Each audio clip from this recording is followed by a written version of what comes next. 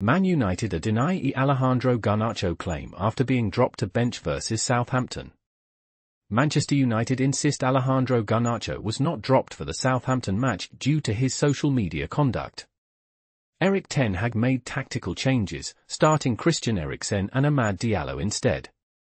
Garnacho allegedly liked an Instagram post criticizing Ten Hag but later removed it. United sources guarantee his benching was for tactical reasons. Marcus Rashford retained his place in the front three, with Ten Hag expressing confidence in his form. Please subscribe to my channel.